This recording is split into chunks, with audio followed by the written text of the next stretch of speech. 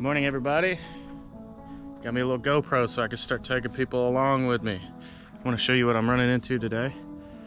All right, so gonna be mowing this bank of the lake over here all the way to right about there. You can see where uh, the mowing, the lawn crew stops mowing over there.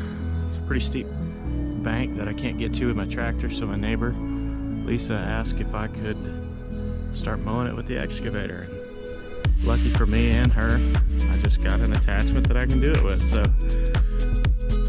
pretty morning this morning, so I'm gonna hook up the camera to the excavator and bring bring you along with me. Show you what I run into. Have a good day.